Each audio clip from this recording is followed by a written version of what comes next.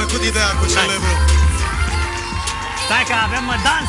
Deci aici intră artistul, dansează și acum vorbim. N-am mai fost de mult aici. De acum, de anul trecut. Da, de anul de un an. Parcă a trecut o Ce veșnicie. ți-a plăcut cel mai mult? Uh, Ai uitat ce ai ciocola- vrut să zici? Nu, nu, mi-a plăcut foarte mult parfeul de ciocolată. Da? Mi-a plăcut uh, șoa la crem. Despre ce vorbește domnul? De unde a venit domnul? Uh, Nu, mai, m-ai întrebat ce am mâncat mai devreme, ți-am răspuns acum în uh, a, am în înțeles. platou, Da.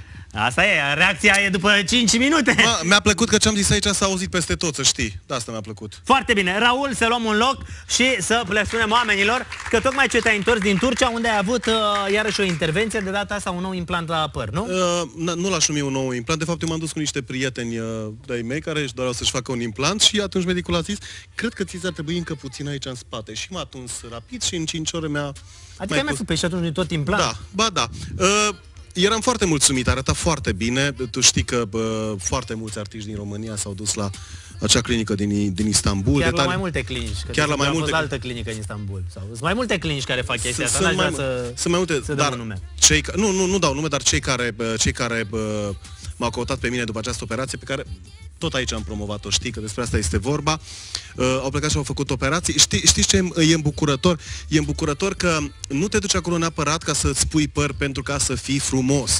Nu te duci că m, așa trebuie să fii ca artist să ai păr. Sunt foarte mulți artiști care nu au păr, dar nu au complexe. Nu au Și atunci frustrări. trebuie să scapi de un complex. Uh, poate că n-aș fi avut complexul dacă bă, oameni mult mai în vârstă decât mine, din anturajul meu de oameni înțelepți, ca să Da. zic așa, uh, n-ar fi... uh, Făcut N-ar, glume?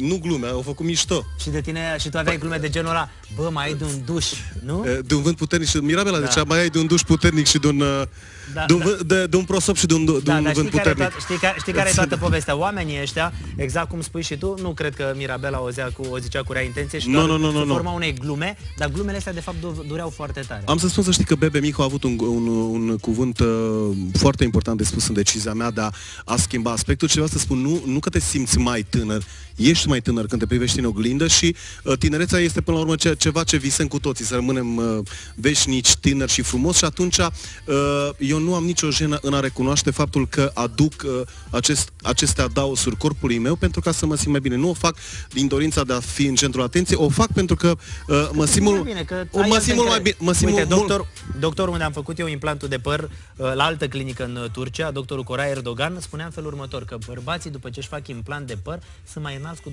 cm. Știi, prima dată stăteam și mă gândeam, zic, doctore, adică am mai crescut după ce mi-am făcut implant de păr? Acum Știi eu ce a chiar zis? centimetrii ăștia nu i-am numărat. Dar știi de ce?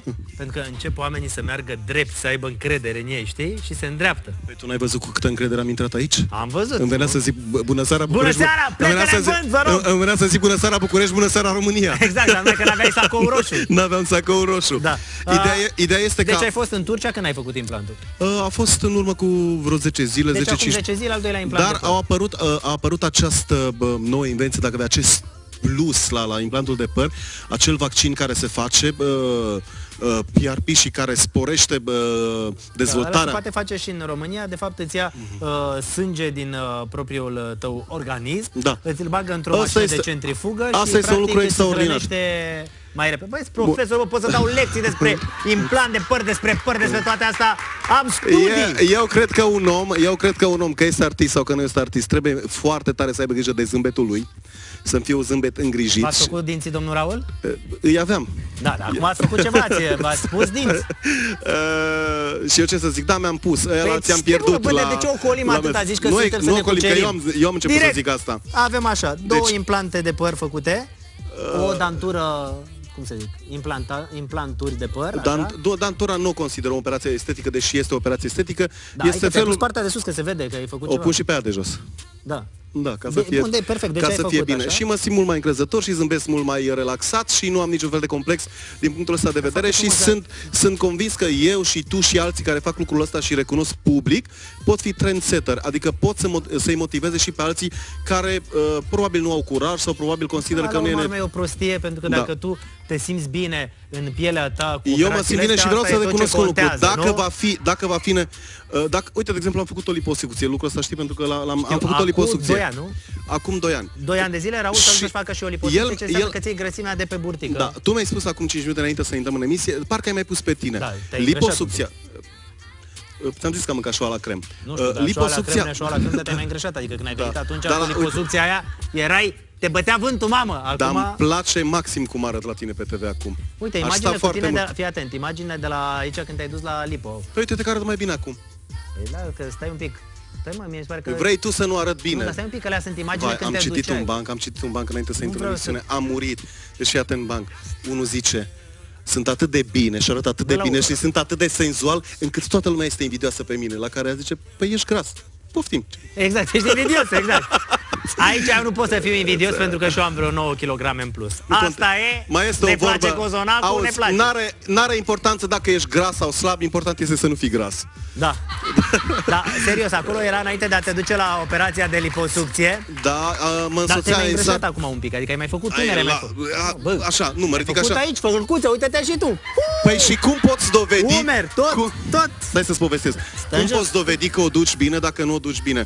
Vreau să spun Băi, ce face nene, liposucția.